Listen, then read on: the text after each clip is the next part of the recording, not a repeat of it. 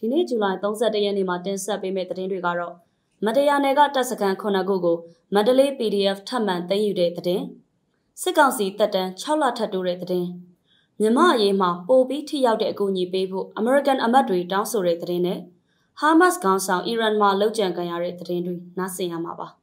မန္တလေးတိုင်းမတရားမြို့ကိုသိမ်းယူဖို့ထိုးစစ်ဆင်ရမှာ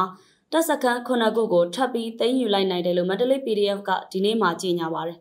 ပြီးခဲ့တဲ့ဂျွန်လကုန်ပိုင်းကစတဲ့ထိုးစစ်အတွင်းဒီကနေ့ထိဆိုရင်မတရားမြို့နယ်ထဲမှာသိမ်းယူထားနိုင်တဲ့စခန်းစုစုပေါင်း35ခုရှိလာပြီလို့သိရပါတယ်ရှင်။နယ်မြေတည်ငြိမ်ရေးနဲ့ရွေးကောက်ပွဲကျင်းပနိုင်ဖို့ဆိုပြီးအာဏာသိမ်းစစ်ကောင်ဆောင်ကအရေးပေါ်ကာလကိုဒီနေ့မှနောက်ထပ်6လသက်တမ်းတိုးလိုက်ပါတယ်။အရင်စည်းဝေးတွေမှာတက်တန်းတိုးဖို့အတွက်စစ်ကောင်ဆောင်ကအကြောင်းပြချက်တွေကိုဖတ်ပြပြီးဦးမြင့်ဆွေကနားထောင်ပြီးတော့အတီးပြုတ်ပေးတာပါဒါပေမဲ့ဒီတစ်ခေါက်စည်းဝေးမှာတော့စစ်ကောင်ဆောင်ကတက်တန်းတိုးဖို့အကြောင်းပြချက်တွေကို သူကိုယ်တိုင်ဖတ်ပြီးသူကိုယ်တိုင်ပဲသဘောတူခဲ့တာဖြစ်ပါတယ်ရှင်။မြမအရေးနဲ့ပတ်သက်လို့အခြေအနေစောင့်ကြည့်ပြီးလှုပ်ရှားတာထက်ကိုယ်တိုင်ကိုကြဖန်တီးယူတဲ့ proactive ချင်းကပ်မှုမျိုးနဲ့ချင်းကပ်ဖို့ American အစိုးရကို American အထက်လွှတ်တော်အမတ်တွေကအိတ်ဖွင့်ပေးစာရေးသားတောင်းဆိုလိုက်ပါတယ်။စာထဲမှာတော့အထူးသဖြင့် American အစိုးရအနေနဲ့အာဏာသိမ်းစစ်တပ်ကိုကြမ်းကြမ်းခံတွန်းလှန်ရက်တည်နေတဲ့တော်လှန်ရေးအင်အားစုတွေကိုထိထိရောက်ရောက်ချိတ်ဆက်ပတ်ပိုးမှုတွေအစပြုဖို့တောင်းဆိုထားပါတယ်ရှင်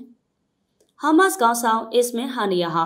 အီရန်နိုင်ငံမှာရှိနေချိန်အတော်အတွင်းလောက်ကျန်ခံရလို့ကွဲလွန်သွားပါတယ်။ဟာနီယာဟာဟာမတ်ရဲ့တိုက်ခိုက်ရေးမဟုတ်တဲ့နိုင်ငံရေးအစုအဖွဲ့အကြီးအကဲပါ။တဟီရန်မြို့တော်ကလေကြောင်းတိုက်ခိုက်မှုတစ်ခုမှာတိတ်ဆုံးသွားခဲ့တာဖြစ်ပြီးဒီတိတ်ဆုံးမှုဟာအစ္စရေးလက်ချက်လို့ဟာမတ်ဘက်ကတိုက်ရိုက်ဆွဆွဲထားပါတယ်ရှင်။